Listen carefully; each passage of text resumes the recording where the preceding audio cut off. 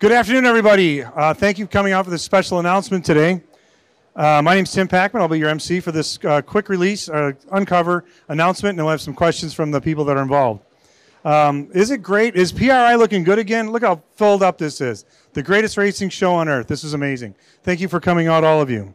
Today, we are happy to announce that Thad Moffitt, that good looking guy right there, uh, will be joining Scott Lagasse Racing in the 2023 Trans Am Series presented by Pirelli and the very competitive 2A2 class. TA2 class, sorry. Thad will pilot the iconic number 43 with full sponsorship from Safety-Kleen. Gentlemen, at this time, let's show the people this beautiful car you're going to drive. The TA2 class, the Trans Am.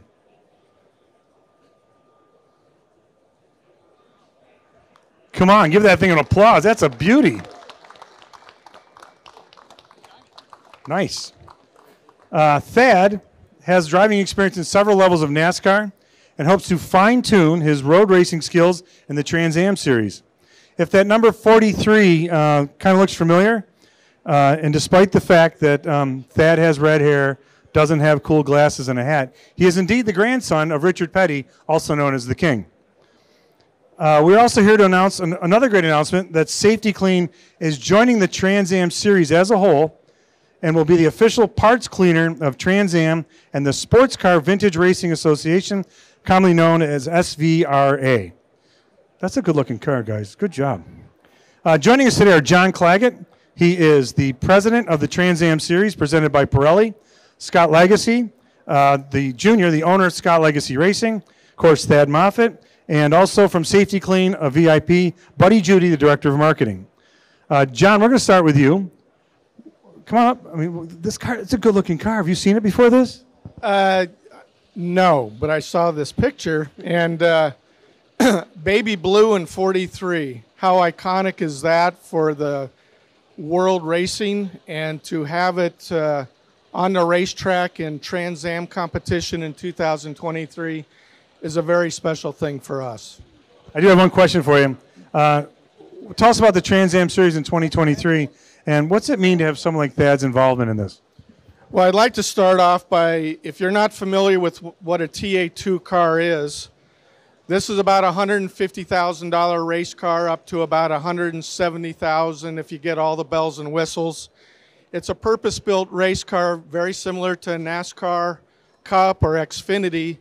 And one of the reasons that it's attractive to NASCAR drivers where Thad has come from uh, with ARCA and the truck series is that its performance and weight to rate, rate weight to ratio of performance to weight is very similar to an Xfinity Cup car. So about six or seven years ago, we started to see NASCAR drivers come over and get in TA2 cars so that they could perfect their road racing skills. And that's become more and more prevalent where this year a third of the Cup entry list are guys that have touched a TA2 car either for testing or one-offs or half seasons and full seasons. So that's just one of the feeder systems to the wonderful success that we've had in TA2. Uh, we're now seeing 40 to 50 car fields where we have some guys that we call young guns, 14, 15, 16 year old guys that will be the future of NASCAR, maybe even Formula One, that have come to the TA2. We have NASCAR guys uh, that are coming over to hone their skills. Guys like Thad now, uh, Christian Bell, a lot of those guys have come to perfect their road racing because of what NASCAR is doing with more and more racing. So that's a little bit about us. We're uh, 13 races around the country, Music City Grand Prix, a street race, Detroit Grand Prix, street race, and along with the SVRA at many of the iconic button uh, bucket list racetracks like Watkins Glen and places like that. So we're thrilled to have Thad. It is a great addition. It will be an eye opener for the world and uh, look forward to having a great, successful season. Thank you, John. Appreciate that. Uh, Scott, team owner. Uh, this is your seventh year of owning the team. Uh, as a former NASCAR driver and now an owner, did you ever think one day you would be guiding Richard Petty's grandson through his racing career? Uh, not at all. It's a um, this is a huge honor for us. I've, I've ha- got the ability to get to know Thad pretty well here. Uh, before we this conversation started about this program, and um, he came to some races with us and, and really earned my respect right away. The way he jumps in, the way he fits with our group. Um, he's a hard worker, obviously a wheelman. So I fully expect uh, great things out of this program this year. And you know, on our side, we hope to do you a good job from uh, teaching you the left to right stuff. Thanks, Scott. Okay, let's hear from the man himself. Thad, come on up here.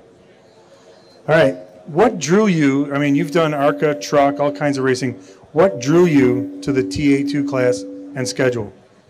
Well, first off, I just want to thank everybody for being here. You know, uh, and with the backing from Safety-Kleen and everybody uh, at Trans Am, Tony Parella and Scott, I know that we can be competitive this year and uh, win races and run for a championship. You know, so uh, I'm looking forward to uh, learning from some of the veterans in the TA2 series and uh, tune in, fine tuning my uh, road course ability uh, that I learned a little bit in the ARCA series and, and with the truck series. And uh, just looking forward to having a good year with a winning program like Scott Lagasse.